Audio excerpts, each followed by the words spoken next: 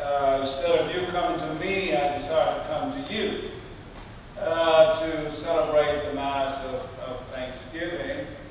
Uh, and so